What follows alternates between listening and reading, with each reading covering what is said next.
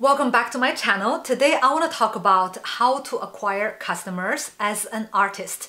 I want to say this because a few days ago I received an email from an artist saying, I just found your project on the internet and I found it so exciting. I would love some advice from you because I'm going to open my own art gallery next year and I have no idea where to start. I have difficulties acquiring clients. Please help me. And I checked his project and the moment I saw and I was like, wow, this guy is a true creative entrepreneur. He had a lot of entrepreneurial qualities and I found this project is an idea worth sharing. And I would like to share with you in the form of business case study so we can all analyze the challenges that he's facing and how he can make this project a success. And together maybe we can all contribute to the success of the project by sharing some advice. And if you have any advice, make sure you leave me a comment below and I will send this link to him so that he can see your advice as well. I will not reveal the true identity of this artist um, gallerist uh, because he told me this is a work in progress. He doesn't feel comfortable yet, but maybe in the near future, once the show is running, he will come out of the closet. But right now, uh, let's just call him Adam and let's go to the business case study of Adam. Adam is an artist born and raised in Japan. He went to art school because ever since he was young, he wanted to become an artist. After graduating from art school, he wanted to go to the best place for him to become an artist. And he bought a one-way ticket to the Big Apple, New York City. After his arrival, he really settled in. He started making local friends, having exhibition opportunities, but it's always group shows and you know, it's never in a very um, promising location. And he was trying to get into a gallery and after three years of trying, he couldn't find a gallery representation and he was very frustrated. So he took a full-time job as a graphic designer in a large company and now he's working nine to five. And one day he was complaining to a friend of his saying, you know what, it's really hard to make it as an artist. I don't have a gallery to represent me after all these years. And his friend said, I own a hair salon, remember? You can come to my salon, make your art exhibitions in my salon if you want. You can run a gallery and bring other artists as well. I'm sure you have many friends who are frustrated like you. And let's make it happen. If you want to sell something, and give me a percentage, I'm, I'm glad. But if you don't want to give me nothing, I'm just here to help you because you're such a good friend.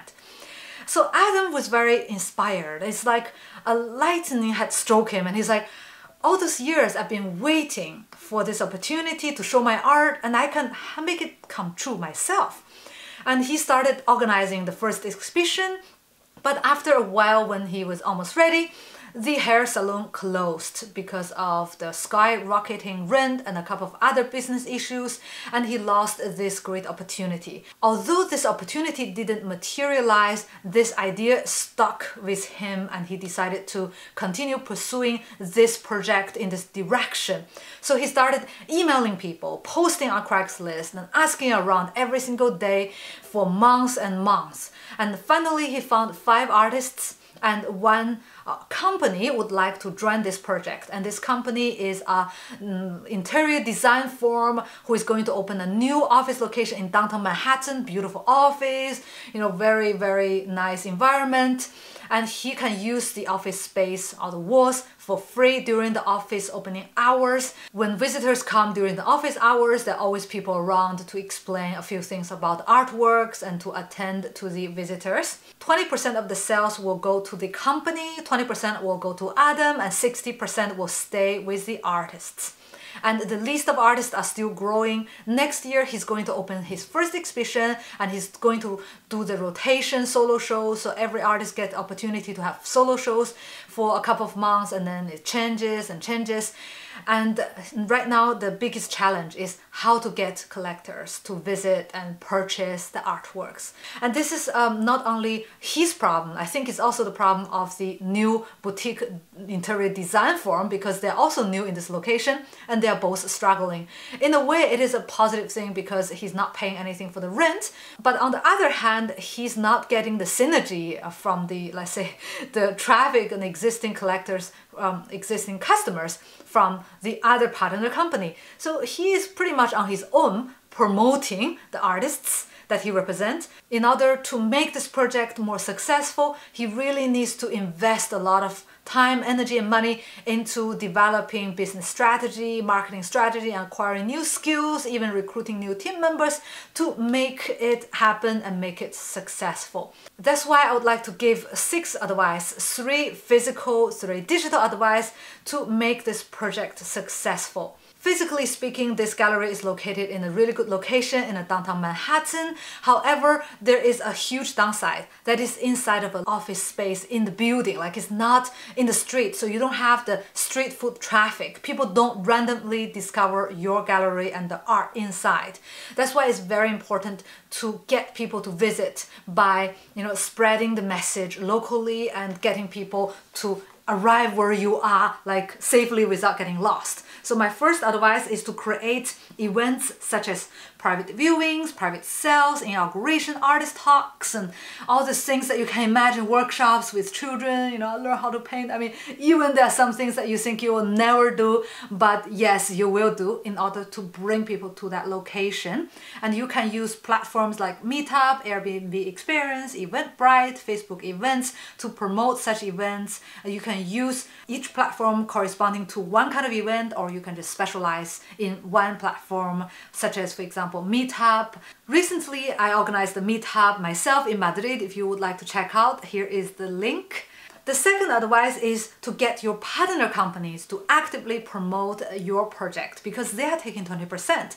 Although they might forget that occasionally because they're busy with their own promotion, make sure remind them persuade them into including your data like your logo, your web address because the address is the same location, that's the convenience. So include all these details into their marketing material so that you know they are doing one stone two birds right? They're killing your bird for you and they are getting the 20% so use that as a, a leverage to get them working in a synergy with you. And if you're a partner in the same project make sure they feel being a partner Number three, get more partner companies like local stores, cafes, hair salons, and leave um, materials like brochures, name cards in their counters so people can discover your location, especially in the, let's say, one kilometer radius so people can walk past and then they see, oh, nearby there's an inauguration, I'll go.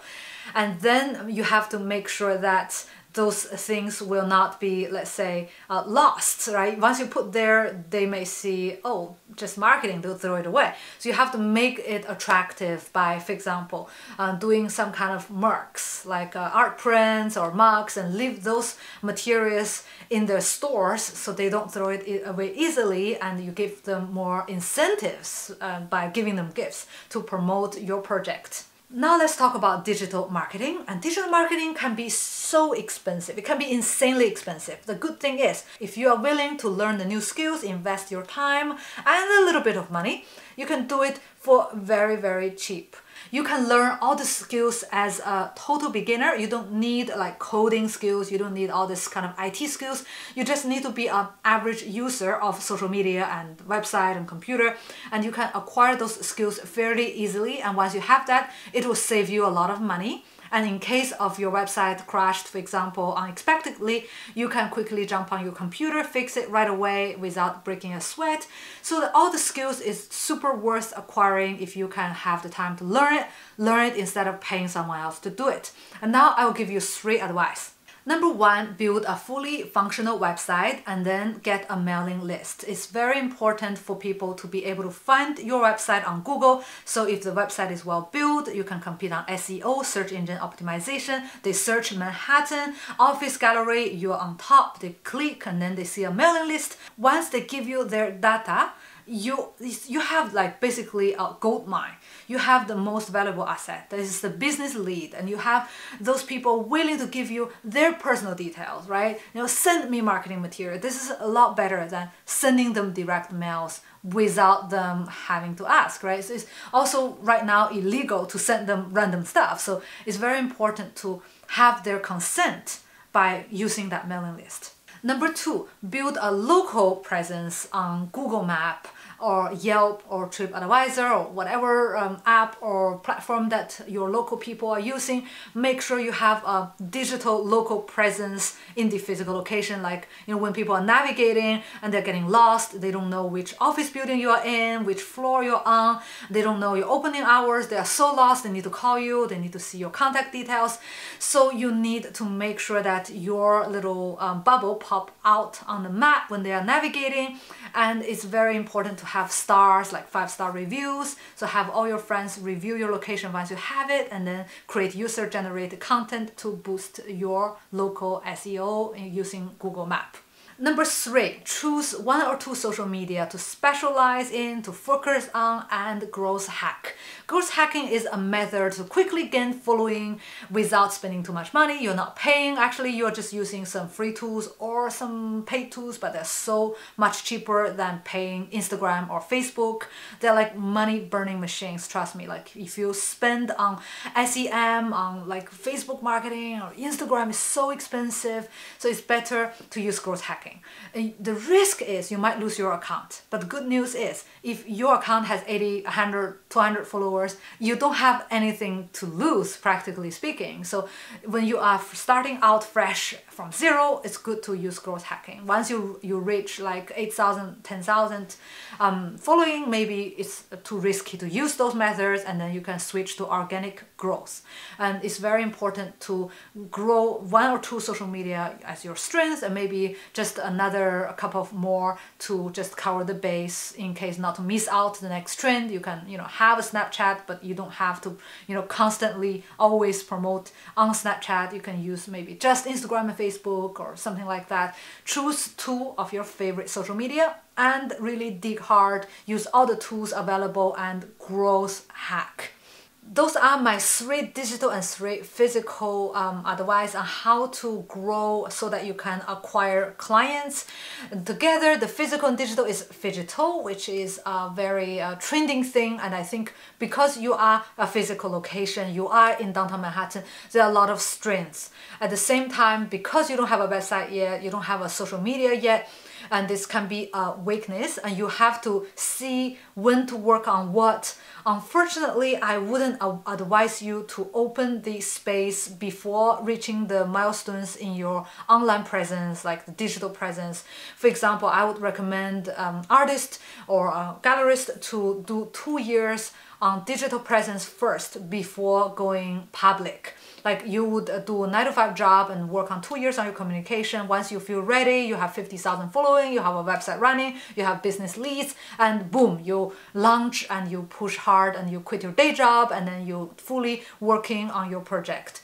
However, because Adam has already nailed a deal and it's a good opportunity that he doesn't want to lose and he is already launching next year in a couple of months, if you want this project to be successful next year, you really need to catch up in the promotion and you really need to uh, work really hard with all the time and money and energy you have on promotion and that could mean raising of your business overhead because you are spending on promotion website or you know web designer or you know you are spending on people on project on tools on hosting space. My idea is to keep the cost low for two years and then launch. But if you can't wait that, you can growth hack and you can push it a little bit by working extra hard. And I believe you can because for someone who are, you know, who persistently send emails and striking deals to make it happen and go into a business uh, without prior business experience, I think that being able to um, be brave to start that project is already a very, very, very um, courageous, a very good uh, step. And the rest will follow if you put the hard work in and with the right timing, with the right tools, with the right economy as well, uh, it will all work out. It's just a matter of time. Now I'd like to hear your advice. If you are listening to this, make sure you leave me a comment below. And that's it. Thank you for your time and see you next time.